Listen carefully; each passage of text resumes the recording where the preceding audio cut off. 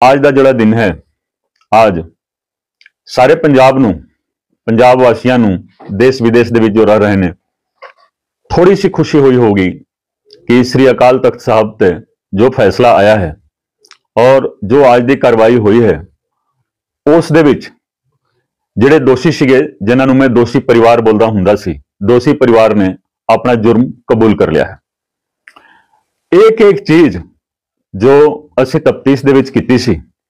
Captain ਸਾਹਿਬ ਦੀ legal team ਹੋਵੇ ਜਾਂ ਉਹਨਾਂ ਦੀ ਪੋਲਿਟੀਕਲ ਟੀਮ ਹੋਵੇ ਉਹਨਾਂ ਨੇ ਸਾਡੀ ਰਿਪੋਰਟ ਖਾਰਜ ਕੀਤੀ ਸੀ ਸਭ ਤੋਂ ਪਹਿਲਾਂ ਮੈਂ ਇਹ ਸਪਸ਼ਟ ਕਰਨਾ ਚਾਹੁੰਦਾ ਹਾਂ ਕਿ ਜੋ ਮੇਰੀ ਰਿਪੋਰਟ ਸੀਗੀ ਉਹ ਕੋਈ ਰਿਪੋਰਟ ਨਹੀਂ ਸੀਗੀ ਇਹ ਚਾਰਜ ਸ਼ੀਟ ਸੀਗਾ ਔਰ ਚਾਰਜ ਸ਼ੀਟ ਫਰੀਦਕੋਟ ਦੀ ਮਾਨਯੋਗ ਅਦਾਲਤ ਦੇ ਵਿੱਚ ਦਿੱਤੀ ਹੋਈ ਸੀ ਔਰ ਜਦੋਂ ਖਾਰਜ ਕਰਵਾਈ ਗਈ ਉਦੋਂ ਵੀ ਰਿਪੋਰਟ ਕਿੱਥੇ ਪਈ ਸੀ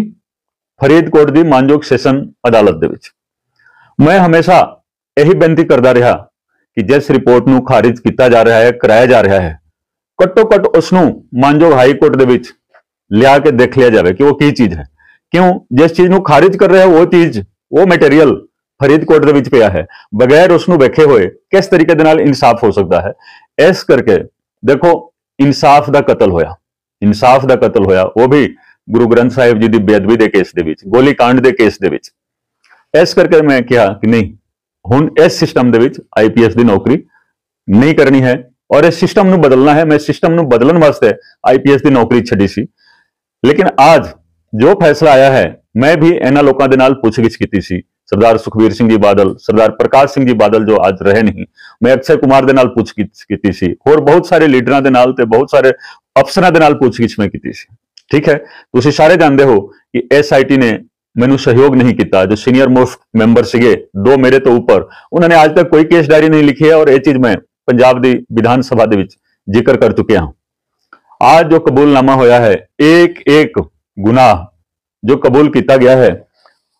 वो एक जिस्ट है एक समरी है ਵੈਸੇ ਤਾਂ ਇਹ ਪੂਰਾ ਕਮਰਾ ਪਰ ਜਾਏਗਾ ਜੋ ਸਬੂਤ ਅਸੀਂ ਮਾਨਯੋਗ ਅਦਾਲਤ ਦੇ ਵਿੱਚ ਦਿੱਤਾ ਲੇਕਿਨ ਉਹਦਾ ਇੱਕ ਜਿਸਟ ਹੈ ਇਹਦੇ ਵਿੱਚ ਸਮਰੀ ਹੈ ਇੱਕ ਸਮਰੀ ਹੈ ਬਸ ਸਮਰੀ ਦੇਖੋ ਚਾਹੇ ਤੁਸੀਂ ਦੇਖੋ ਬੇਅਦਬੀ ਕਿਉਂ ਕਰਵਾਈ ਗਈ? ਪ੍ਰੋਟੈਸਟ ਕਿਉਂ ਹੋਇਆ? ਪ੍ਰੋਟੈਸਟ ਕਿਉਂ ਹੋਇਆ? ਪ੍ਰੋਟੈਸਟ ਇਸ ਕਰਕੇ ਹੋਇਆ ਕਿਉਂਕਿ ਗੁਰੂ ਗ੍ਰੰਥ ਸਾਹਿਬ ਜੀ ਦੀ ਬੇਅਦਬੀ ਹੋਈ। ਇਸ ਤੋਂ ਇਲਾਵਾ ਇੱਕ ਮੂਵੀ ਰਿਲੀਜ਼ ਕਰਾਈ ਗਈ ਸੀਗੀ 25 ਅਕਤੂਬਰ ਨੂੰ 25 ਸਤੰਬਰ ਨੂੰ 25 ਸਤੰਬਰ ਨੂੰ ਇੱਕ ਮੂਵੀ ਮੈਸੇਂਜਰ ਆਫ ਗੋਡ ਸੀਗੀ, ਉਹ ਰਿਲੀਜ਼ ਹੋਈ ਸੀ ਔਰ 2 ਅਕਤੂਬਰ ਨੂੰ ਇੱਕ ਹੋਰ ਮੂਵੀ ਰਿਲੀਜ਼ ਹੋਈ ਸੀਗੀ ਅਕਸ਼ੇ ਕੁਮਾਰ ਦੀ ਸਿੰਘ ਇਜ ਬਲਿੰਗ ਇਹ ਦੋਵੇਂ ਦੀ ਰਿਲੀਜ਼ ਦਾ ਆਪਸ ਦੇ ਵਿੱਚ ਬਹੁਤ ਹੀ ਨੇੜਲਾ ਸੰਬੰਧ ਹੈ ਇਹ ਸਾਰਾ ਕੁਝ ਇਹ ਜਿਸਟ ਹੈ ਔਰ ਇਹ ਅਦਾਲਤ ਦੇ ਵਿੱਚ ਵੀ ਹੈ ਇਹ ਹਰ ਪਾਸੇ ਹੈ ਔਰ ਸਰਕਾਰ ਦੇ ਕੋਲ ਵੀ ਹੈ ਪੁਲਿਸ ਡਿਪਾਰਟਮੈਂਟ ਦੇ ਕੋਲ ਵੀ ਹੈ ਸਾਡੇ ਵਕੀਲ ਸਾਹਿਬਾਨ ਦੇ ਕੋਲ ਵੀ ਹੈ ਜੋ ਮੈਂ ਅੱਜ ਲਿਆਂਦਾ ਅੱਜ ਤੁਸੀਂ ਦੇਖੋ ਇੱਕ ਇੱਕ ਚੀਜ਼ ਇਹਦੇ ਵਿੱਚ ਹੈ ਕਿ ਮਾਫੀ ਜਦੋਂ ਦਿੱਤੀ ਗਈ ਤੇ ਕਿੰਨੇ ਪੈਸੇ ਲਗਾਏ ਗਏ ਐਡਵਰਟਾਈਜ਼ਮੈਂਟ ਤੇ ਉਹ ਵੀ ਇਹਨਾਂ ਨੇ ਅੱਜ ਕਬੂਲ ਕਰ ਲਿਆ ਇਹਦੇ ਵਿੱਚ ਗਲਤ ਕੀ ਹੈ ਦੇਖੋ ਇਹ ਸਾਰਾ ਚੀਜ਼ ਇਹਦੇ ਵਿੱਚ ਲਿਖਿਆ ਹੋਇਆ ਹੈ ਤੇ ਇਹੀ ਚੀਜ਼ ਨੂੰ ਕੈਨਸਲ ਕੀਤਾ ਗਿਆ ਹੈ ਤਾਂ ਹੀ ਮੈਂ ਬਾਰ-ਬਾਰ ਬੋਲਦਾ ਹਾਂ ਕਿ ਤੁਸੀਂ ਰਿਪੋਰਟ ਮੰਗਾਉਂਦੇ ਰਿਪੋਰਟ ਮੰਗਾ ਕੇ ਪੜ੍ਹਦੇ। ਇੱਕ ਲਾਈਨ ਤੁਸੀਂ ਦੱਸਦੇ ਕਿ ਕਿਹੜੀ ਲਾਈਨ ਗਲਤ ਹੈ? ਫਿਰ ਇੱਕ ਲਾਈਨ ਵੀ ਗਲਤ ਮਿਲੇ, ਤੁਸੀਂ ਕੁਐਸ ਕਰ ਦਿੰਦੇ, ਕਰਾ ਦਿੰਦੇ। ਮੈਨੂੰ ਕੋਈ ਇਤਰਾਜ਼ ਨਹੀਂ ਸੀ। ਤਾਂ ਆ ਦੇਖੋ, ਇਹਦੇ ਵਿੱਚ ਵੀ ਇਹੀ ਜ਼ਿਕਰ ਹੈ ਕਿ ਇਹਨਾਂ ਨੇ ਲੱਖਾਂ ਰੁਪਏ ਖਰਚ ਕੀਤੇ। ਔਰ ਇਹਦੇ ਵਿੱਚ ਬਿੱਲ ਵੀ ਦਿੱਤਾ ਹੋਇਆ ਹੈ। ਬਿੱਲ ਵੀ ਅਸੀਂ ਇਨ ਰਾਈਟਿੰਗ ਐਸਜੀਪੀਸੀ ਕੋਲੋਂ ਲੈ ਕੇ ਬਤੌਰ ਵਜ੍ਹਾ ਸਬੂਤ ਅਦਾਲਤ ਦੇ ਵਿੱਚ ਦਿੱਤਾ। ਕੋਈ ਵੈਸੇ ਨਹੀਂ ਅਸੀਂ ਇਲਜ਼ਾਮ ਲਗਾ ਦਿੱਤਾ। ਸ਼੍ਰੋਮਣੀ ਕਮੇਟੀ ਤੋਂ ਅਸੀਂ ਲਿਖਤੀ ਤੌਰ ਤੇ ਉਹ ਹਰੇਕ ਐਡਵਰਟਾਈਜ਼ਮੈਂਟ ਦਾ ਬਿੱਲ ਲੈ ਕੇ ਲਗਾਇਆ ਹੋਇਆ ਹੈ। ਤਾਂ ਜੋ ਉਹ ਸਬੂਤ ਹੁੰਦਾ ਹੈ ਇਸ ਸਬੂਤ ਤੋਂ ਹੀ ਇਹ ਸਾਰੇ ਲੋਕ ਡਰ ਗਏ ਇਸ ਤੋਂ ਇਲਾਵਾ ਦੇਖੋ ਹਰ ਚੀਜ਼ ਇਹਦੇ ਵਿੱਚ ਹੈ ਹਰੇਕ ਚੀਜ਼ ਜਿਸ ਤਰ੍ਹਾਂ 24 ਸਤੰਬਰ ਨੂੰ ਪਾਰਡਨ ਕੀਤਾ ਗਿਆ ਮਾਫੀ ਦਿੱਤਾ ਗਿਆ ਮਾਫੀਨਾਮਾ ਕਿਸ ਨੇ ਲਿਖਿਆ ਸੀ ਸਰਦਾਰ ਤਰਲੋਚਨ ਸਿੰਘ ਜੀ ਦਾ ਮੈਂ ਬਿਆਨ ਲਿਖਿਆ ਔਰ ਉਹਨਾਂ ਨੇ ਵੀ ਤਾਇਦ ਕੀਤੀ ਹੈ ਇਸ ਸੰਬੰਧ ਦੇ ਵਿੱਚ ਮੈਂ ਪੰਜਾਬ ਵਿਧਾਨ ਸਭਾ ਦੇ ਵਿੱਚ ਵੀ ਜ਼ਿਕਰ ਕਰ ਚੁੱਕਿਆ ਹਾਂ ਸਰਦਾਰ ਤਰਲੋਚਨ ਸਿੰਘ ਜੀ ਮੇਰੇ ਗਵਾਹ ਸੀਗੇ ਔਰ ਪਹਿਲਾਂ ਉਹ ਕਟ ਗਿਣਤੀ ਕਮਿਸ਼ਨ ਦੇ ਚੇਅਰਮੈਨ ਰਹਿ ਚੁੱਕੇ ਨੇ ਔਰ ਰਾਜ ਸਭਾ ਦੇ ਮੈਂਬਰ ਰਹਿ ਚੁੱਕੇ ਨੇ ਉਹਨਾਂ ਨੇ ਰਾਜ ਸਭਾ ਦੇ ਵਿੱਚ ਵੀ ਬੇਅਦਬੀ ਦੇ ਬਾਰੇ ਸਾਰਾ ਬਿਰਤਾਂਤ ਲਿਖਿਆ। ਇੱਥੇ ਦੇਖੋ ਜਥੇਦਾਰ ਇਕਬਾਲ ਸਿੰਘ ਜੀ, ਜੋ ਤਖਤ ਸ੍ਰੀ ਪਟਨਾ ਸਾਹਿਬ ਦੇ ਜਥੇਦਾਰ ਸਨ, ਉਹਨਾਂ ਦਾ ਬਿਆਨ ਵੀ ਹੈ। ਉਹਨਾਂ ਨੇ ਸਾਰਾ ਕੁਝ ਵਿਸਤਾਰ ਪੂਰਵਕ ਹੱਥ ਲਿਖਿਤ ਉਹਨਾਂ ਦਾ ਬਿਆਨ ਹੈ ਕਿ ਕਿਸ ਤਰੀਕੇ ਦੇ ਨਾਲ 24 ਸਤੰਬਰ ਨੂੰ ਮਾਫੀ ਦਿੱਤੀ ਗਈ ਸੀ।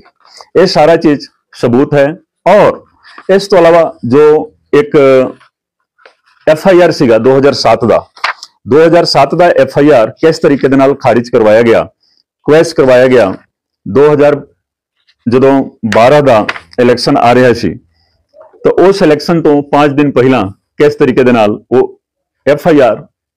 ਦੇ ਵਿੱਚ ਕੈਂਸਲੇਸ਼ਨ ਦਿੱਤਾ ਗਿਆ? ਇਹਦੇ ਵਿੱਚ ਗੌਰ ਕਰਨ ਵਾਲੀ ਗੱਲ ਹੈ ਕਿ ਜਦੋਂ ਮਾਨਯੋਗ ਗਵਰਨਰ ਸਾਹਿਬ ਨੇ ਕੇਸ ਚਲਾਉਣ ਦੀ ਅਨੁਮਤੀ ਦੇ ਦਿੱਤੀ, ਸੈਂਕਸ਼ਨ ਦੇ ਦਿੱਤਾ, ਉਸ ਤੋਂ ਬਾਅਦ ਇੱਕ ਥਾਣੇਦਾਰ, ਇੱਕ ਐਸਐਚਓ ਕੈਂਸਲੇਸ਼ਨ ਲਿਖ ਰਿਹਾ ਹੈ 2012 ਦੇ ਇਲੈਕਸ਼ਨ ਤੋਂ। 5 ਦਿਨ ਪਹਿਲਾਂ ਇਹ ਸਾਰਾ ਦੇਖੋ ਸਬੂਤ ਹੈ ਇੱਕ ਇੱਕ ਚੀਜ਼ ਇਹਦੇ ਵਿੱਚ ਦਿੱਤਾ ਹੋਇਆ ਹੈ ਇਸ ਦੇ ਨਾਲ ਸਾਰੇ ਗਵਾਹਾਂ ਦੇ ਬਿਆਨ ਪਲੱਸ ਜਿੰਨੇ ਵੀ ਸਬੂਤ ਸੀਗੇ ਤਾਂ ਮੈਂ ਬਾਰ-ਬਾਰ ਕਹ ਰਿਹਾ ਕਿ ਇਹ ਸਾਰਾਂਸ਼ ਹੈ ਕੋਈ ਰਿਪੋਰਟ ਨਹੀਂ ਹੈ ਇਹ ਸਾਰਾਂਸ਼ ਹੈ ਤਾਂ ਹਰ ਚੀਜ਼ ਇਹਦੇ ਵਿੱਚ ਹੈ ਜੋ ਅੱਜ ਕਬੂਲ ਕੀਤਾ ਗਿਆ ਕਿਸ ਤਰੀਕੇ ਦੇ ਨਾਲ ਗੋਲੀ ਚੱਲੀ ਕਿਸ ਤਰੀਕੇ ਦੇ ਨਾਲ ਬੇਅਦਬੀ ਕਰਵਾਈ ਗਈ ਔਰ ਹਰ ਚੀਜ਼ ਇਸ ਦੇ ਵਿੱਚ ਹੈ ਉਹਨਾਂ ਨੇ ਕੀਤਾ ਕਬੂਲ ਮੈਂ ਇਹ ਕਹ ਰਿਹਾ ਕਿ ਦੇਖੋ ਅਸੀਂ ਉਸ ਦਿਨ ਜਿਸ ਸਟੈਂਡ ਤੇ ਸੀਗੇ ਜਿਸ ਦਿਨ ਅਸੀਂ ਨੌਕਰੀ ਛੱਡੀ ਸੀ ਅੱਜ ਵੀ ਉਸੇ ਸਟੈਂਡ ਤੇ ਕਾਇਮ ਹਾਂ ਮੈਂ ਉਦੋਂ ਵੀ ਕਿਹਾ ਸੀ ਤੁਸੀਂ ਮੇਰਾ 13 ਅਪ੍ਰੈਲ 2021 ਦਾ ਫੇਸਬੁੱਕ ਪੋਸਟ ਦੇਖ ਸਕਦੇ ਹੋ ਜਿਸ ਦੇ ਵਿੱਚ ਮੈਂ ਕਿਹਾ ਸੀ ਕਿ ਮੇਰੀ ਅਪੀਲ ਗੁਰੂ ਗੋਬਿੰਦ ਸਿੰਘ ਜੀ ਦੀ ਅਦਾਲਤ ਦੇ ਵਿੱਚ ਚੱਲ ਰਹੀ ਹੈ ਮੈਂ ਰੱਖ ਦਿੱਤੀ ਹੈ ਔਰ ਉਸ ਅਦਾਲਤ ਤੋਂ ਹੀ ਮੈਨੂੰ ਉਮੀਦ ਹੈ ਮੈਂ ਇਹ ਵੀ ਬਾਰ-ਬਾਰ ਬੋਲਦਾ ਹਾਂ ਕਿ ਉਸ ਅਦਾਲਤ ਦੇ ਵਿੱਚ ਰੋਜ਼ਾਨਾ ਤੌਰ ਤੇ ਸੁਣਵਾਈ ਚੱਲ ਰਹੀ ਹੈ ਅੱਜ ਵੀ ਜੋ ਲੋਕ ਇਸ ਕੇਸ ਦੇ ਨਾਲ ਜੋ ਕੁਝ ਵੀ ਕਰ ਰਹੇ ਨੇ ਉਹ ਸਾਰਾ ਚੀਜ਼ ਵੀ ਸੁਣਵਾਈ ਅਧੀਨ ਹੈ ਔਰ ਬਹੁਤ ਚੰਗੇ ਤਰੀਕੇ ਦੇ ਨਾਲ ਇਹ ਤਾਂ ਇੱਕ ਟ੍ਰੇਲਰ ਹੈ ਮੈਂ ਇਹੀ ਕਹਾਂਗਾ ਕਿ ਅੱਜ ਜੋ ਸ੍ਰੀ ਅਕਾਲ ਤਖਤ ਸਾਹਿਬ ਤੇ ਜੋ ਕੁਝ ਹੋਇਆ ਹੈ ਇਹ ਇੱਕ ਟ੍ਰੇਲਰ ਹੈ ਜਿਸ ਤਰ੍ਹਾਂ ਅਸੀਂ ਬੋਲਦੇ हैं ना कि आगे आगे देखिए होता है क्या आगे आगे और कुछ होना है बहुत कुछ होना है और हर सच्चाई सामने आनी है और वो हर चेहरे तो वो नकाब उठ जाना है जिस जिस ने जो जो करतूत की लेकिन ਜਦੋਂ ਕਾਂਗਰਸ ਦੀ ਸਰਕਾਰ ਸੀਗੀ ਉਦੋਂ ਵੀ ਮੇਰੇ ਤੇ ਬਹੁਤ ਤਸੱਦਦ ਕੀਤਾ ਗਿਆ ਜਦੋਂ ਸਾਡੇ ਮੁੱਖ ਮੰਤਰੀ ਭਗਵੰਤ ਮਾਨ ਬਣੇ ਇਹਨਾਂ ਨੇ ਤਾਂ ਤਸੱਦਦ ਦੀ ਹੱਦ ਕਰ ਦਿੱਤੀ ਹੱਦ ਕਰ ਦਿੱਤੀ ਇਹ ਪਰਮਾਤਮਾ ਦੀ ਕਿਰਪਾ ਹੈ ਕਿ ਮੇਰੀ ਸਾਥ ਚੱਲ ਰਹੀ ਹੈ ਔਰ ਹੋਰ ਬਹੁਤ ਸਾਰੀਆਂ ਗੱਲਾਂ ਨੇ ਜੋ ਮੈਂ ਦੱਸਾਂਗਾ ਇਹਨਾਂ ਦੇ ਨਾਲ ਮੈਂ ਜਾ ਕੇ ਦੋ ਤਿੰਨ ਵਾਰੀ ਮੁਲਾਕਾਤ ਕੀਤੀ ਇਹਨਾਂ ਦੇ ਰੈਜ਼ੀਡੈਂਸ ਤੇ ਵੀ ਵਿਧਾਨ ਸਭਾ ਦੇ ਵਿੱਚ ਚਿੱਠੀਆਂ ਨੇ ਮੇਰੇ ਕੋਲ ਚਿੱਠੀਆਂ ਪਈਆਂ ਨੇ ਹਰ ਚਿੱਠੀ ਦੀ ਕਾਪੀ ਜੋ ਮਾਨਯੋਗ ਮੁੱਖ ਮੰਤਰੀ ਸਾਹਿਬ ਨੂੰ ਮੈਂ ਦਿੱਤੀ ਕਿਉਂ ਕਿਉਂਕਿ ਤੁਸੀਂ 24 ਘੰਟਿਆਂ ਦੀ ਗੱਲ ਕੀਤੀ ਸੀ ਤੇ ਇੱਕ ਵਾਰੀ ਵੀ ਤੁਸੀਂ ਉਚਿਤ ਨਹੀਂ ਸਮਝਿਆ ਕਿ ਮੇਰੇ ਨਾਲ ਤੁਸੀਂ ਗੱਲ ਕਰੋ ਜਿਸ ਦਿਨ ਮੇਰੀ ਜੁਆਇਨਿੰਗ ਹੋਈ ਸੀ ਇਹ YouTube ਤੇ ਵੀ ਹੈ, ਹਰੇਕ ਥਾਂ ਤੇ ਹੈ, Facebook ਤੇ ਹੈ, ਕਿ ਜਿਸ ਦਿਨ ਮੇਰੀ ਜੁਆਇਨਿੰਗ ਹੋਈ ਸੀ, ਭਗਵੰਤ ਮਾਨ ਸਾਹਿਬ ਨੇ, ਕੇਜਰੀਵਾਲ ਸਾਹਿਬ ਨੇ ਇਹ ਕਿਹਾ ਸੀ ਕਿ ਅਸੀਂ ਬਰਗਾੜੀ ਦੇ ਕੇਸ ਦੇ ਵਿੱਚ ਇਨਸਾਫ ਦੇਵਾਂਗੇ। ਸਬੂਤ ਦੇ ਤੌਰ ਤੇ ਉਹਨਾਂ ਨੇ ਇਹ ਕਿਹਾ ਕਿ ਦੇਖੋ, ਜਿਸ ਅਫਸਰ ਨੇ ਇਨਕੁਆਇਰੀ ਕੀਤੀ ਹੈ, ਉਹ ਅਫਸਰ ਹੁਣ ਸਾਡੇ ਨਾਲ ਹੈ ਤੇ ਇਹ ਅਫਸਰ ਆਪਣੀ ਕਲਮੀ ਹੁਣ ਇਨਸਾਫ ਦੇਗਾ, ਇਸ ਕਰਕੇ ਤੁਸੀਂ ਵਿਸ਼ਵਾਸ ਕਰੋ ਕਿ ਅਸੀਂ ਇਨਸਾਫ ਦੇਵਾਂਗੇ। ਇਹ ਭਗਵੰਤ ਮਾਨ ਸਾਹਿਬ ਨੇ 21 ਜੂਨ 2021 ਨੂੰ ਅੰਮ੍ਰਿਤਸਰ ਦੇ ਸਰਕਟ ਹਾਊਸ ਦੇ ਵਿੱਚ ਇਹ ਗੱਲ ਕਹੀ ਸੀ ਔਰ ਤੁਸੀਂ ਸਾਰੇ ਲੋਕਾਂ ਨੇ ਉਸ ਚੀਜ਼ ਤੇ ਵਿਸ਼ਵਾਸ ਕਰ ਲਿਆ ਲੇਕਿਨ ਭਗਵੰਤ ਮਾਨ ਸਾਹਿਬ ਜਦੋਂ ਤੋਂ ਮੁੱਖ ਮੰਤਰੀ ਬਣੇ 16 ਮਾਰਚ 2022 ਇਹਨਾਂ ਨੇ ਇੱਕ ਵਾਰੀ ਵੀ ਉਚਿਤ ਨਹੀਂ ਸਮਝਿਆ ਕਿ ਮੇਰੇ ਨਾਲ ਗੱਲ ਕਰਦੇ ਜਦੋਂ ਮੈਂ ਗਿਆ ਇਹਨਾਂ ਦੇ ਕੋਲ ਦੋ ਤਿੰਨ ਵਾਰੀ ਮੈਂ ਗਿਆ ਹਾਂ ਵਿਧਾਨ ਸਭਾ ਦੇ ਵਿੱਚ ਵੀ ਤੇ ਇਹਨਾਂ ਦੇ ਰੈਜ਼ੀਡੈਂਸ ਤੇ ਵੀ ਮੈਂ ਕੇਜਰੀਵਾਲ ਸਾਹਿਬ ਨੂੰ ਵੀ ਮਿਲਿਆ ਇਸ ਸੰਬੰਧ ਦੇ ਵਿੱਚ ਮੈਨੂੰ ਕੋਈ ਅਹੁਦਾ ਨਹੀਂ ਚਾਹੀਦਾ ਸੀ ਮੈਨੂੰ ਕੁਝ ਨਹੀਂ ਚਾਹੀਦਾ ਸੀ ਲੇਕਿਨ ਇਹਨਾਂ ਨੇ ਵੀ ਜੋ ਕੰਮ ਕੈਪਟਨ ਅਮਰਿੰਦਰ ਸਿੰਘ ਜੀ ਨੇ ਕੀਤਾ ਉਸ ਨਾਲੋਂ 100 ਗੁਣਾ ਇਹਨਾਂ ਲੋਕਾਂ ਨੇ ਕੀਤਾ ਤਸੱਦਦ ਵੀ ਕੀਤਾ ਮੇਰੇ ਤੇ ਉਹ ਤਸੱਦਦ ਬਿਆਨ ਨਹੀਂ ਕੀਤਾ ਜਾ ਸਕਦਾ ਹੈ ਇਸ ਵੇਲੇ ਮੌਕਾ ਆਉਣ ਦੋ ਮੈਂ ਇੱਕ ਇੱਕ ਤਸੱਦਦ ਦੇ ਬਾਰੇ ਹਰ ਚੀਜ਼ ਮੈਂ ਉਹ ਰਾਜ ਖੋਲਾਂਗਾ ਕਿ ਕਿਸ ਤਰੀਕੇ ਦੇ ਨਾਲ ਕੈਪਟਨ ਸਾਹਿਬ ਦੇ ਟਾਈਮ ਮੇਰੇ ਤੇ ਤਸੱਦਦ ਹੋਇਆ ਕਿਸ ਤਰੀਕੇ ਦੇ ਨਾਲ ਭਗਵੰਤ ਮਾਨ ਜੀ ਦੇ ਟਾਈਮ ਮੇਰੇ ਤੇ ਤਸੱਦਦ ਹੋਇਆ ਤੇ ਅੱਜ ਵੀ ਕਿਸ ਤਰੀਕੇ ਦੇ ਨਾਲ ਹੋ ਰਿਹਾ ਹੈ ਸਿਰਫ ਇਹੀ ਹੈ ਕਿ ਇਹਨਾਂ ਕੇਸਾਂ ਦੇ ਉੱਤੇ ਮੈਂ ਪਹਰਾ ਦੇ ਰਿਹਾ ਹਾਂ ਹਾਈ ਕੋਰਟ ਹੋਵੇ ਸੁਪਰੀਮ ਕੋਰਟ ਹੋਵੇ ਫਰੀਦਕੋਟ ਦੀ ਅਦਾਲਤ ਹੋਵੇ ਜਾਂ ਫਰੀਦਕੋਟ ਤੋਂ ਜ਼ਿਲ੍ਹਾ ਅਦਾਲਤ ਚੰਡੀਗੜ੍ਹ ਦੇ ਵਿੱਚ ਕੇਸ ਤਬਦੀਲ ਹੋ ਚੁੱਕੇ ਨੇ ਮੈਂ ਆਪਣੇ ਨਿੱਜੀ ਵਕੀਲ ਸਾਹਿਬਾਨ ਦੇ ਨਾਲ ਮੈਂ ਇਹਨਾਂ ਕੇਸਾਂ ਦੀ ਪੈਰਵਾਈ ਕਰ ਰਿਹਾ ਮੈਂ ਜੋ ਅਦਾਲਤਾਂ ਨੇ ਕਾਨੂੰਨੀ ਅਦਾਲਤਾਂ ਇੱਥੇ ਵੀ ਸਾਡੀ ਪੈਰਵਾਈ ਇਸ ਕਰਕੇ ਚੱਲ ਰਹੀ ਹੈ ਕੱਲ ਹੋ ਕੇ ਦੇਖੋ ਜਾਣਾ ਸਾਰਿਆਂ ਨੇ ਹੈ ਜਦੋਂ ਅਸੀਂ ਜਾਈਏ ਤਾਂ ਜਦੋਂ ਗੁਰੂ ਗੋਬਿੰਦ ਸਿੰਘ ਜੀ ਦੇ ਸਾਹਮਣੇ ਜਾਈਏ ਤਾਂ ਇਹੀ ਕਹਾਣ ਕਿ ਹਾਂ ਜੀ ਤੁਸੀਂ ਉੱਥੋਂ ਵੀ ਲੜਾਈ ਲੜ ਕੇ ਆਏ ਹੋ ਮੈਨੂੰ ਪਤਾ ਹੈ ਕਿ ਇਸ ਲੜਾਈ ਦੇ ਵਿੱਚ ਮੈਂ ਜਿੱਤ ਨਹੀਂ ਸਕਦਾ ਹਾਂ ਲੇਕਿਨ ਮੋਲ ਲੜਾਈ ਲੜਨ ਦਾ ਹੈ ਤਾਂ ਅਸੀਂ ਲੜਾਈ ਲੜਾਂਗੇ ਹਰ ਤਰੀਕੇ ਦੇ ਨਾਲ ਲੜਾਈ ਲੜਾਂਗੇ ਭਾਵੇਂ ਇਨਸਾਫ ਮਿਲਣਾ ਹੈ ਗੁਰੂ ਗੋਬਿੰਦ ਸਿੰਘ ਜੀ ਦੀ ਅਦਾਲਤ ਤੋਂ ਲੇਕਿਨ ਇਹ ਸਾਰੀ ਲੜਾਈ ਚੱਲਦੇ ਰਹਿਣੀ ਹੈ ਔਰ ਅੱਜ ਇਹ ਸਾਬਿਤ ਹੋ ਗਿਆ ਕਿ ਜੋ ਸਾਡੀ ਰਿਪੋਰਟ ਨੂੰ ਖਾਰਿਜ ਕਰਵਾਇਆ ਗਿਆ ਸੀ ਤੁਸੀਂ ਸੋਚ ਸਕਦੇ ਹੋ ਕਿੰਨੇ ਲੋਕਾਂ ਨੇ ਔਰ ਕਿਸ ਕਿਸ ਤਰੀਕੇ ਦੇ ਨਾਲ ਛਲ ਪ੍ਰਪੰਚ ਕਰਕੇ ਉਹ ਰਿਪੋਰਟ ਖਾਰਿਜ ਕਰਵਾਈ ਗਈ ਮੈਂ ਦੁਬਾਰਾ ਦੱਸਣਾ ਚਾਹੁੰਦਾ ਹਾਂ ਕਿ ਰਿਪੋਰਟ ਤਾਂ ਪਈ ਸੀਗੀ ਮਾਨਯੋਗ ਸੈਸ਼ਨ ਅਦਾਲਤ ਫਰੀਦਕੋਟ ਦੇ ਵਿੱਚ ਤੇ ਖਾਰਿਜ ਹੋ ਰਹੀ ਹੈ ਕਿੱਥੋਂ ਮਾਨਯੋਗ ਹਾਈ ਕੋਰਟ ਤੋਂ ਚੰਡੀਗੜ੍ਹ ਉੱਥੋਂ ਫਰੀਦਕੋਟ ਤੋਂ ਰਿਪੋਰਟ ਮੰਗਾ ਕੇ ਪੜੀ ਵੀ ਨਹੀਂ ਗਈ ਕਿ ਇਹਦੇ ਵਿੱਚ ਕੀ ਖਰਾਬੀ ਹੈ ਨਾ ਹੀ ਜੋ ਆਰਡਰ ਆਇਆ ਹੈ ਖਾਰਿਜ ਹੋਣ ਦਾ ਉਹਦੇ ਵਿੱਚ ਕੋਈ ਇਸ ਤਰੀਕੇ ਦੀ ਗੱਲ ਲਿਖੀ ਗਈ ਹੈ ਕਿ ਇਹਦੇ ਵਿੱਚ ਕੀ ਖਰਾਬੀ ਹੈ ਕਿਹੜੀ ਲਾਈਨ ਗਲਤ ਹੈ ਅੱਜ ਸਾਬਿਤ ਹੋ ਗਿਆ ਸਭ ਕੁਝ ਦੋਸ਼ੀਆਂ ਨੇ ਕਬੂਲ ਕਰ ਲਿਆ ਤੁਸੀਂ ਦੇਖੋ ਦੋਸ਼ੀ ਪਰਿਵਾਰ ਨੇ ਆਪਣਾ ਜੁਰਮ ਕਬੂਲ ਕਰ ਲਿਆ ਇਹ ਚਲੋ ਪੰਜਾਬ ਵਾਸੀਆਂ ਵਾਸਤੇ ਪੰਜਾਬੀਆਂ ਵਾਸਤੇ ਨਾਨਕ ਨਾਮ ਲੈਵਾ ਸੰਗਤਾਂ ਵਾਸਤੇ ਇੱਕ ਥੋੜੀ ਸੀ ਇੱਕ ਰਾਹਤ ਦੀ ਉਮੀਦ ਵਧੀ ਹੈ ਕਿ ਦੇਖੋ ਇਨਸਾਫ ਹੋ ਰਿਹਾ ਹੈ ਔਰ ਇਨਸਾਫ ਗੁਰੂ ਗੋਬਿੰਦ ਸਿੰਘ ਜੀ ਦੀ ਅਦਾਲਤ ਦੇ ਵਿੱਚ ਹੋ ਰਿਹਾ ਹੈ ਜੋ ਕਬੂਲਨਾਮਾ ਹੋਇਆ ਹੈ ਭਗਵੰਤ ਮਾਨ ਸਾਹਿਬ ਨੂੰ ਮੈਂ ਇਹੀ ਕਹਾਂਗਾ ਕਿ ਤੁਸੀਂ ਇਸ ਕਬੂਲਨਾਮਾ ਦੇ ਆਧਾਰ ਤੇ ਦੁਬਾਰਾ ਤਲਬ ਕਰਵਾਓਗੇ ਆਪਣੀ ਐਸਆਈਟੀ ਨੂੰ ਕਹ ਕੇ ਤੇ ਇਹ ਸਾਰਾ ਕਬੂਲਨਾਮਾ ਤੁਸੀਂ ਕੇਸ ਫਾਈਲ ਤੇ ਲਿਆ ਕੇ ਅਦਾਲਤ ਦੇ ਵਿੱਚ ਦੋਗੇ ਜੇਕਰ ਤੁਸੀਂ ਦਿੰਦੇ ਹੋ ਤਾਂ ਮੈਂ ਕਹਾਂਗਾ ਕਿ ਹਾਂ ਅੱਜ ਵੀ ਤੁਸੀਂ ਮਤਲਬ ਇਸ ਕੇਸ ਦੇ ਨਾਲ ਜਾਂ ਕੁਝ ਵੀ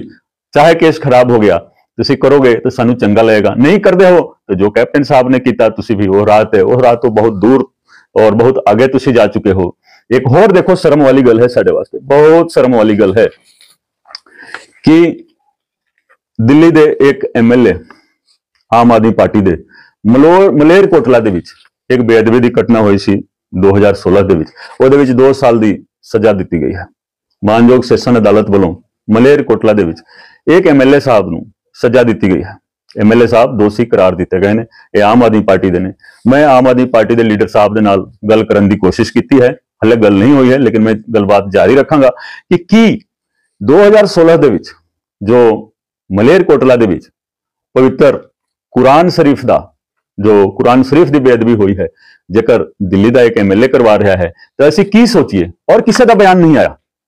ਔਰ ਕਿਸੇ ਪਾਰਟੀ ਦਾ ਬਿਆਨ ਨਹੀਂ ਆਇਆ ਕਿਸੇ ਲੀਡਰ ਦਾ ਬਿਆਨ ਨਹੀਂ ਆਇਆ ਕਾਂਗਰਸ, ਬੀਜੇਪੀ, ਅਕਾਲੀ ਦਲ, ਆਮ ਆਦਮੀ ਪਾਰਟੀ ਕਿਸੇ ਨੇ ਕੋਈ ਬਿਆਨ ਨਹੀਂ ਦਿੱਤਾ। ਲੇਕਿਨ ਆ ਦੇਖ ਲਓ, ਜੇਕਰ ਸਾਡੀ ਪਾਰਟੀ ਦੇ ਐਮਐਲਏ ਇਸ ਤਰ੍ਹਾਂ ਕਰਨਗੇ, ਤਾਂ ਲੋਕ ਕਿਸ ਤਰ੍ਹਾਂ ਸਾਡੀ ਪਾਰਟੀ ਤੇ ਵਿਸ਼ਵਾਸ ਕਰਨਗੇ? ਅਸੀਂ ਤਾਂ ਆਏ ਸੀਗੇ ਇੱਕ ਬਦਲਾਅ ਦੀ ਰਾਜਨੀਤੀ ਨੂੰ ਲੈ ਕੇ। ਇਹਦੇ ਉੱਤੇ ਵੀ ਕੋਈ ਨਾ ਕੋਈ ਦੇਖੋ, ਕਾਰਵਾਈ ਹੋਣੀ ਚਾਹੀਦੀ ਹੈ, ਕਿਉਂਕਿ ਅਦਾਲਤ ਨੇ ਹੀ ਦੋਸ਼ੀ ਕਰਾਰ ਦਿੱਤਾ। ਔਰ ਦੇਖੋ, ਸਭ ਤੋਂ ਮਾੜੀ ਗੱਲ ਇਹ ਹੈ, ਸਭ ਤੋਂ ਮਾੜੀ ਗੱਲ ਹੈ ਕਿ ਉਦੋਂ ਜੋ ਬੇਅਦਬੀ ਹੋਈ ਸੀ, ਮੈਂ ਬਾਰ-ਬਾਰ ਇਹੀ ਕਹਿੰਦਾ ਆ ਰਿਹਾ ਹਾਂ ਕਿ ਦੇਖੋ ਸਾਰੇ ਧਰਮਾਂ ਦੇ ਸਾਰੇ ਗ੍ਰੰਥਾਂ ਦੀ ਬੇਅਦਬੀ ਹੋਈ ਹੈ ਇਹ ਤਾਂ ਪਵਿੱਤਰ ਕੁਰਾਨ ਸ਼ਰੀਫ ਦੀ ਬੇਅਦਬੀ ਦਾ ਮਸਲਾ ਹੈ ਔਰ ਬੇਅਦਬੀ ਬੇਅਦਬੀ ਹੈ ਚਾਹੇ ਕਿਸੇ ਵੀ ਧਰਮ ਦੇ ਕਿਸੇ ਵੀ ਗ੍ਰੰਥ ਦੀ ਬੇਅਦਬੀ ਹੋਵੇ ਇਹ ਤਾਂ ਬੇਅਦਬੀ ਬੇਅਦਬੀ ਹੈ ਤੇ ਇਸ ਦੇ ਉੱਤੇ ਵੀ ਚਰਚਾ ਕਰਨੀ ਜ਼ਰੂਰੀ ਹੈ ਕਰਨਾ ਕੀ ਚਾਹੀਦਾ ਹੈ ਮੈਂ ਆਪਣੀ ਲੀਡਰਸ਼ਿਪ ਦੇ ਨਾਲ ਦੁਬਾਰਾ ਗੱਲ ਕਰਨ ਦਾ ਪ੍ਰਯਾਸ ਕਰਾਂਗਾ ਕਿ ਤੁਸੀਂ ਦੇਖੋ ਸੋਚੋ ਕਿ ਅਸੀਂ ਕੀ ਕਰਨਾ ਹੈ ਹਮ ਕੀ ਕਰਨੇ ਆਏ ਥੇ ਔਰ ਕੀ ਕਰਨੇ ਲਗੇ ਅਸੀਂ ਕੀ ਕਰਨ ਵਾਸਤੇ ਆਏ ਸੀ ਤੇ ਕੀ ਅਸੀਂ ਕਰਨ ਲੱਗ ਪਏ ਤੇ ਇਹ ਸਾਰਾ ਕੁਝ ਦੇਖੋ ਜੇਕਰ ਅਸੀਂ ਨਹੀਂ ਕਰਦੇ ਹਾਂ ਤੇ ਜਨਤਾ ਕਿਸੇ ਦੀ ਗੁਲਾਮ ਨਹੀਂ ਹੈ ਨਾ ਆਟਾ ਦਾਲ ਦੀ ਗੁਲਾਮ ਰਹੀ ਹੈ ਨਾ ਕੋਈ ਬਿਜਲੀ ਦੀ ਗੁਲਾਮ ਰਹੀ ਹੈ ਨਾ ਕੋਈ 1000 ਰੁਪਏ ਦੀ ਗੁਲਾਮ ਰਹੀ ਹੈ ਇਹ ਜਨਤਾ ਸੁਤੰਤਰ ਹੈ ਔਰ ਜਨਤਾ ਆਪਣੇ ਹਿਸਾਬ ਦੇ ਨਾਲ ਕਿਸ ਨੂੰ ਸਿਆਸਨ ਤੇ ਬਿਠਾਉਣਾ ਹੈ ਕਿਸ ਨੂੰ ਸਿਆਸਨ ਤੋਂ ਚੱਕ ਕੇ ਬਾਹਰ ਸੁੱਟ ਦੇਣਾ ਹੈ ਇਹ ਸਭ ਜਨਤਾ ਸੁਪਰੀਮ ਹੁੰਦੀ ਹੈ ਤਾਂ ਅਸੀਂ ਜਨਹਿਤ ਦੇ ਵਿੱਚ ਕੰਮ ਕਰਾਂਗੇ ਔਰ ਦੁਬਾਰਾ ਮੈਂ ਕਹਿੰਦਾ ਕਿ ਭਾਵੇਂ ਭਗਵੰਤ ਮਾਨ ਜੀ ਤੁਸੀਂ ਜਿੰਨਾ ਮਰਜ਼ੀ ਤਸੱਦਦ ਕਰ ਲਓ ਅਸੀਂ ਮੂੰਹ ਤੋੜਵਾ ਜਵਾਬ ਦੇਵਾਂਗੇ ਜਿੰਨੀ ਤਾਕਤ ਹੈ ਜਿੰਨੀ ਤਾਕਤ ਗੁਰੂ ਗੋਬਿੰਦ ਸਿੰਘ ਜੀ ਨੇ ਸਾਨੂੰ ਬਖਸ਼ੀ ਹੋਈ ਹੈ ਅਸੀਂ ਮੂੰਹ ਤੋੜਵਾ ਜਵਾਬ ਦੇਵਾਂਗੇ ਔਰ ਅੱਜ ਦੇਖੋ ਇੱਕ ਗਲੀ ਦੇ ਵਿੱਚ ਰਹਿ ਰਹੇ ਹਾਂ ਤੁਹਾਡੇ ਕਰਕੇ ਜੀ ਤੁਹਾਡੇ ਕਰਕੇ ਔਰ ਆਉਣ ਵਾਲੇ ਸਮਾਂ ਦੇ ਵਿੱਚ ਮੈਂ ਸਾਰਾ ਰਾਜ ਤੁਹਾਨੂੰ ਖੋਲ ਕੇ ਰੱਖ ਦੇਵਾਂਗਾ ਕਿ ਮੈਂ ਇੱਕ ਗਲੀ ਦੇ ਵਿੱਚ ਕਿਸ ਤਰ੍ਹਾਂ ਆਇਆ ਇੱਕ ਆਈਪੀਐਸ ਅਫਸਰ ਆਈਜੀ ਹੋ ਕੇ ਅੱਜ ਤੁਸੀਂ ਇੱਕ ਗਲੀ ਦੇ ਵਿੱਚ ਰਹਿਣ ਵਾਸਤੇ ਤੁਸੀਂ ਮਜਬੂਰ ਕੀਤਾ ਠੀਕ ਹੈ ਤੇ ਲੇਕਿਨ ਇਹ ਸਾਡੀ ਲੜਾਈ ਗੁਰੂ ਗ੍ਰੰਥ ਸਾਹਿਬ ਜੀ ਦੀ ਇਹ ਸਾਰੀ ਲੜਾਈ ਸਾਡੀ ਜਾਰੀ ਰਹੇਗੀ ਔਰ ਅਸੀਂ ਹਰ ਤਰੀਕੇ ਦੇ ਨਾਲ ਹਰ ਤੁਹਾਡੇ ਵਾਰ ਦਾ ਮੁਕਾਬਲਾ ਕਰਾਂਗੇ ਔਰ ਇਨਸਾਫ ਮਿਲਣਾ ਹੀ ਮਿਲਣਾ ਹੈ ਔਰ ਇਨਸਾਫ ਗੁਰੂ ਗੋਬਿੰਦ ਸਿੰਘ ਜੀ ਦੀ ਅਦਾਲਤ ਤੋਂ ਮਿਲਣਾ ਹੈ ਇਹਨਾਂ ਸ਼ਬਦਾਂ ਦੇ ਨਾਲ ਮੈਂ ਤੁਹਾਡੇ ਤੋਂ ਇਜਾਜ਼ਤ ਲੈਣਾ ਹਾਂ ਔਰ ਇਸ ਤੋਂ ਬਾਅਦ ਵੀ ਅੱਗੇ ਮੈਂ ਤੁਹਾਨੂੰ ਦੱਸਾਂਗਾ ਕਿ ਹਾਂ ਇੱਕ ਇੱਕ ਇਹਦੇ ਵਿੱਚ ਪੱਖ ਜੋ ਹੈ ਔਰ ਹਰ ਤੱਥ ਨੂੰ ਸਾਹਮਣੇ ਅਸੀਂ ਲੈ ਕੇ ਆਵਾਂਗੇ ਕਿਸ ਕਿਸ ਦੀ ਕੀ ਕੀ ਕਰਤੂਤ ਹੈ ਮਾਨ ਸਾਹਿਬ ਨੇ ਕਿਹਾ ਸੀ ਪੰਜਾਬ ਦੀ ਵਿਧਾਨ ਸਭਾ ਦੇ ਵਿੱਚ ਕਿ ਬੇਅਦਬੀ ਦੇ ਕੇਸ ਦੇ ਵਿੱਚ ਨਵੇਂ ਤੱਥ ਆਉਣੇ ਨੇ? ਮੈਨੂੰ ਤੇ ਇਹੀ ਲੱਗ ਰਿਹਾ ਹੈ ਕਿ ਨਵਾਂ ਤੱਥ ਇਹੀ ਆ ਗਿਆ ਹੈ ਮਲੇਰਕੋਟਲਾ ਦੇ ਵਿੱਚ। ਆਪਣੀ ਪਾਰਟੀ ਦਾ ਵਿਧਾਇਕ ਦਿੱਲੀ ਦਾ ਕਨਵਿਕਟ ਹੋ ਗਿਆ, ਉਹਨੂੰ ਸਜ਼ਾ ਮਿਲ ਗਈ। ਮੈਨੂੰ ਇਹੀ ਲੱਗ ਰਿਹਾ ਹੈ ਕਿ ਇਹ ਨਵਾਂ ਤੱਥ ਹੈ। ਤੇ ਤੁਸੀਂ ਦੇਖੋ, ਲੋਕਾਂ ਦੇ ਸਾਹਮਣੇ ਆਓ, ਲੋਕਾਂ ਦੇ ਸਾਹਮਣੇ ਆ ਕੇ ਸੱਚਾਈ ਦੱਸੋ। ਕੋਈ ਵੀ ਗੁਲਾਮ ਨਹੀਂ ਹੈ, ਨਾ ਮੈਂ ਗੁਲਾਮ ਹਾਂ, ਨਾ ਪੰਜਾਬ ਦੀ ਜਨਤਾ ਗੁਲਾਮ ਹੈ। ਤੁਸੀਂ ਆਮਣੇ ਸਾਹਮਣੇ ਆਓ, ਠੀਕ ਹੈ? ਔਰ ਜੋ ਤੁਸੀਂ ਬੈਕ ਤੋਂ ਵਾਰ ਕਰ ਰਹੇ ਹੋ ਸਾਡੇ ਤੇ, ਇਹ ਵਾਰ ਬੰਦ ਕਰੋ। ਕਿਉਂ ਕਿ ਇਨਸਾਫ ਤਾਂ ਗੁਰੂ ਗੋਬਿੰਦ ਸਿੰਘ ਜੀ ਦੀ ਅਦਾਲਤ ਦੇ ਵਿੱਚ ਹੋਣਾ ਹੈ ਔਰ ਉਹ ਇਨਸਾਫ ਕਰਕੇ ਰਹਿਣਗੇ ਔਰ ਹਰ ਤਰੀਕੇ ਦੇ ਨਾਲ ਇਨਸਾਫ ਹੋਗਾ ਔਰ ਉਹ ਇਨਸਾਫ ਜੋ ਹੋਗਾ ਉਹ ਦੁਨੀਆ ਦੇਖੇਗੀ ਇਹਨਾਂ ਸ਼ਬਦਾਂ ਦੇ ਨਾਲ ਤੁਹਾਡਾ ਸਾਰਿਆਂ ਦਾ ਬਹੁਤ ਬਹੁਤ ਧੰਨਵਾਦ ਵਾਹਿਗੁਰੂ ਜੀ ਕਾ ਖਾਲਸਾ ਵਾਹਿਗੁਰੂ ਜੀ ਕੀ ਫਤਿਹ